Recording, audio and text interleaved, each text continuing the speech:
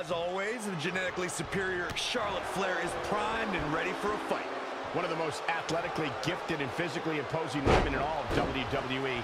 That natural dominance has consistently been the secret to her success. And given the athleticism of these women, this one promises to be can't miss. It's a tough spot to find yourself in, that's for sure.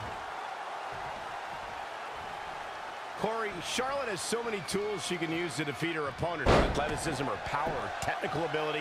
What's the biggest strategy Charlotte needs to implement tonight? Well, Cole, when it comes to the Queen, you can't get any better than her submission game. Her strategy tonight will most likely be to go after her opponent's knee to prepare for that figure four into the figure eight.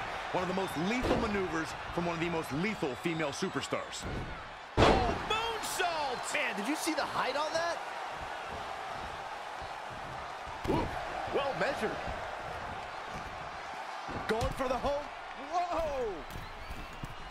Nothing but air on that one. And it's reversed. Paying for that mistake. Crucifix head scissor. Charlotte getting pushed to the limits. Can the Queen hang on? She's not rising to the... Look out! Flash! What impact! Black Mass. See ya. We're about to see. This singles match has come to an end. Wow.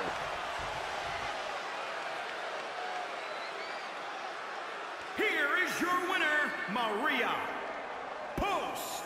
Big singles win here, guys.